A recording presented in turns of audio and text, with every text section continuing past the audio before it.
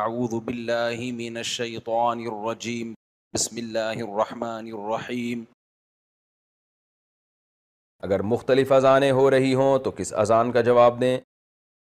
سب سے پہلے جو آپ کے جو محلے کی مسجد ہے نا، جو قریب ترین مسجد، اس کی اذان کا جواب دے دیں تو کافی ہے۔ کیونکہ آج کل مائک ہوتے ہیں تو دور دور کی مسجدوں کی بھی اذانوں کی آوازیں آ رہی ہوتی ہیں۔ تو بس آپ اپنی قریب ترین مسجد کی جب اذان کی آواز آئے تو اس کا جواب دے دیں، یہ کافی ہے انشاءاللہ۔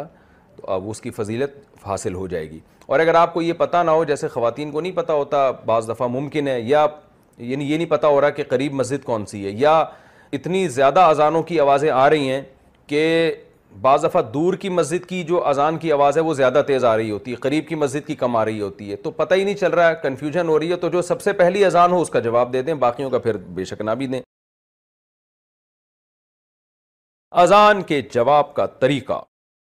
اذان کا جواب دینے کا طریقہ کیا ہے کہ جو جو الفاظ مؤذن دہراتا ہے، جیسے ہی وہ خاموش ہو، آپ بھی وہ الفاظ دہرائیں۔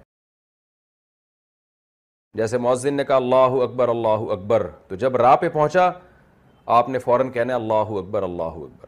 پھر مؤذن کہے گا، اللہ اکبر اللہ اکبر۔ جیسے ہی خاموش ہو، آپ نے فوراً کہنا ہے اللہ اکبر اللہ اکبر۔ جب وہ کہے گا اشہد اللہ الہ الا اللہ، جیسے ہی خاموش ہوتا ہے، آپ نے کہنا اشہد اللہ الہ الا اللہ۔ جب مؤذن کہتا ہے اشہد ان محمد رسول اللہ تو بعض لوگ بجائے وہ الفاظ دہرانے کے صلی اللہ علیہ وسلم کہہ دیتے ہیں۔ تو یہ اس خلاف سنت ہے۔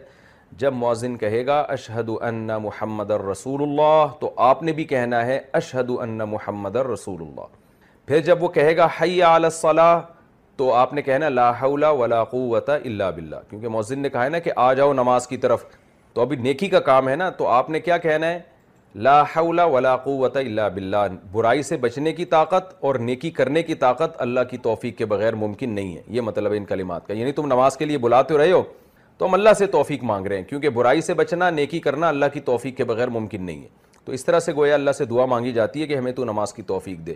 جب مؤذن کہے گا، حی علی الفلاح تو بھی کہنا، لا حول ولا قوت الا باللہ فجر کی اذان میں اگر مؤذن کہتا ہے الصلاۃ خیر من النوم تو جواب میں یہی کہنا ہے الصلاۃ خیر من النوم۔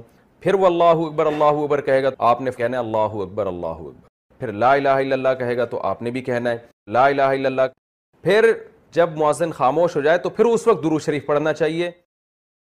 اذان کی دعا، پھر اذان کی دعا پڑھنی چاہیے۔ اللہم رب هذه الدعوت التامہ والصلاة القائمہ۔ آتی محمد الوسیلۃ والفضیلہ۔ وبعثه مقاما محمود الذي وعدت انك لا تخلف الميعاد اس میں جو ودرجت الرفیعہ کے الفاظ ہیں، یہ ثابت نہیں ہیں۔ تو وہ جو درو شریف اشد ان محمد رسول اللہ میں پڑھنا تھا نا، وہ اذان کے آخر میں پڑھیں۔